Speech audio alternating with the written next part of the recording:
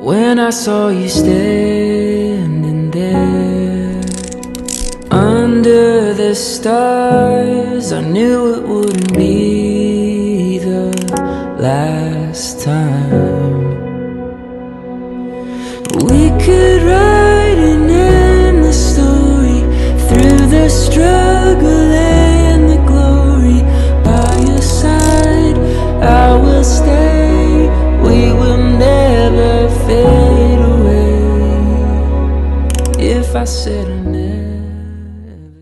안녕하세요. 꼼나나 박재희입니다. 얼마 전에 로레알이랑 저희 꼼나나 브랜드랑 콜라보레이션 해가지고 화보가 나왔어요. 그 화보를 어떻게 찍게 됐고 어떤 컨셉에 어떻게 준비했는지 후토크 한번 해드려 보려고요.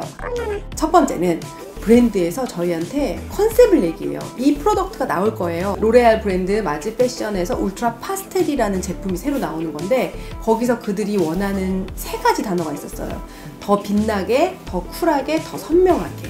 이 단어를 듣고 저희들 나름대로 막 브레인스토밍을 했어요. 이 단어들을 하면 생각나는 것들이 무엇일까? 물건들도 있을 수 있고, 아니면 뭐 음식이 있을 수도 있고, 음, 트렌드랑 연관시켜서 해야 되니까 저희가 생각했던 게 오간자 실크라는 패브릭 있잖아요. 그게 갑자기 생각이 나는 거예요. 그거를 봤는데 엄청 빛나면서도 부드러우면서도 색깔이 들어갔을 때는 굉장히 선명하면서 고급스럽게 표현되는 느낌이 로레알의 울트라 파스텔이 생각하는 느낌하고 비슷하다고 느꼈어요. 그때부터 이제 울트라 파스텔, 오간자 실크 이렇게 저희들 나름대로 파기 시작했죠. 오간자가 뭔지 혹시 궁금하실까봐 제가 간단하게 설명드리면 오간자가 얇고 굉장히 편편하면서 약간 뻣뻣한 소재예요. 근데 거기다가 실크를 집어넣으면서 부드러워지는 거거든요. 실제로는 안감으로 많이 쓰이고 아 그거를 어떻게 하면 좀 자세히 표현할 수 있을까? 헤어, 메이크업, 네일 아트, 그다음에 스타일리스트,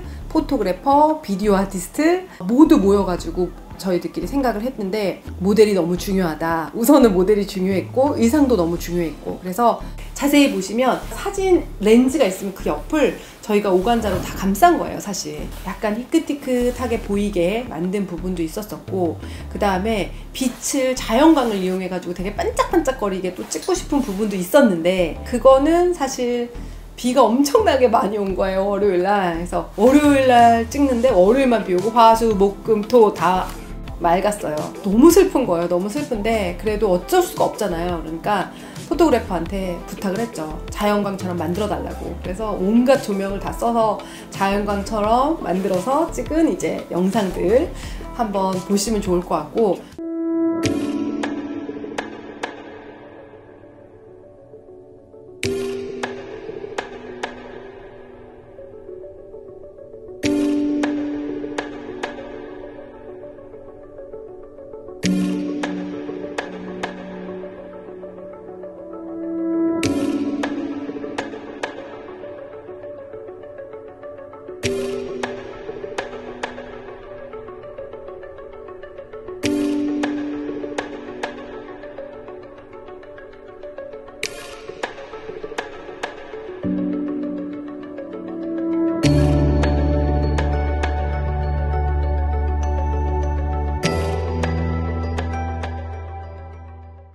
처음에 이제 무드, 분위기에 대한 것도 토론도 하고 어떻게 하면 예쁜지 우리가 시안도 많이 찾잖아요. 그럼 이런 시안 찾는 것도 제가 PPT로 한번 간단하게 보여드릴게요.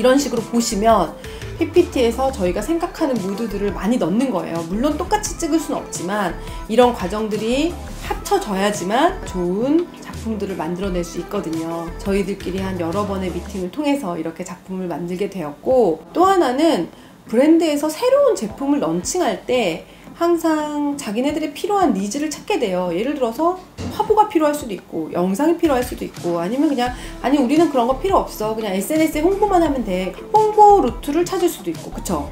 그런 식으로 어떤 루트를 찾느냐에 따라서 틀려지는데 이번에 로레알에서는 화보랑 영상이 모두 다 필요했고 그랬을 때 이걸 같이 할 콜라보레이션 할 브랜드를 찾았던 것 같고 너무 감사하게도 저희가 같이 하게 돼가지고 이런 작업을 하게 됐어요. 모델들을 구하는데도 신경을 많이 썼죠. 아까 말씀드렸듯이 모델이 너무 중요했기 때문에 외국인 같은 경우에는 좀 동양적인 느낌, 동양인인 경우에는 되게 서양적인 느낌. 사실은 두 Western과 Asian이 좀 섞인 분이었으면 더 좋았다고 생각했는데 막상 구하기가 쉽지 않더라고요. 그래서 그런 모습을 가진 두 분을 모델로 선택했어요.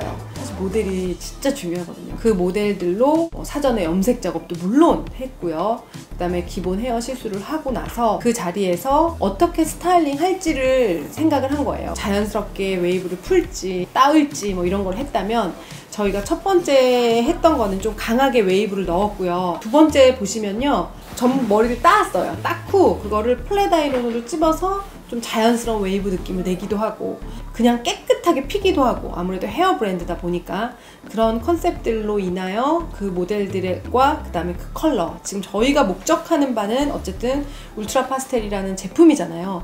로레알이 만든 그 제품에 대해서 좀 포커스 할 수 있도록 헤어를 조금 더 강조하는 촬영이 될 수 있고요. 만약에 메이크업 제품이었다면 헤어는 심플하게 그리고 메이크업 제품이 강조될 수 있도록 찍기도 해요 여러분들이 생각하는 것만큼 그렇게 어렵진 않아요, 막상. 그리고 여러분들이 가지고 있는 느낌을 충분히 잘 활용하셨으면 좋겠고, 계속 중요한 거는 서칭 많이 하고, 그 다음에 많이 보고, 많이 느끼고, 이런 것들이 되게 중요한 것 같아요. 그래서 저도 바쁘고 너무 정신없고 하지만, 뭐 서칭하고 지금 어떤 트렌드가 돌아가는지 되게 알려고 많이 노력을 하는데, 이런 것들이 결국에는 화보에 반영이 되는 것 같고, 또 하나 마지막으로 어떤 컨셉의 어떤 화보를 찍어도 결국 에 나의 느낌, 저희로 치면 꼼나나의 색깔 이 보여지는 것 같아요. 이게 너무 신기한 게 뭐 쇼를 해도 아니면 화보를 찍어도 아 꼼나나스럽다라는 말을 듣게 되는 게 참 정말 행복한 일이고 전 되게 감사하거든요. 그 부분이 이번 화보도 기존의 로레알과는 느낌이 확연히 다른